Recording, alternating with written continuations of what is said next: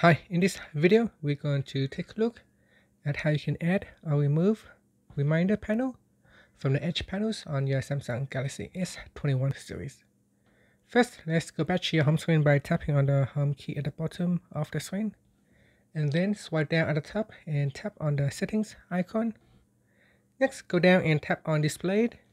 And then go down and tap on edge panels in edge panels, you want to tap on panels. And in the panels, swipe across until you find reminder and then tap on the radio box right here to add or remove the reminder panel to the edge panels.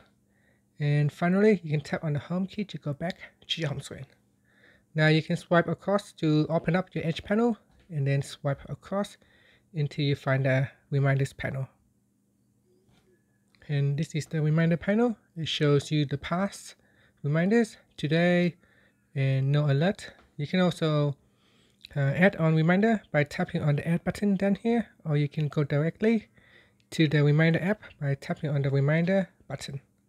And that's it. Finally you can tap on the home key to go back to your home screen. Thank you for watching this video. Please subscribe to my channel for more videos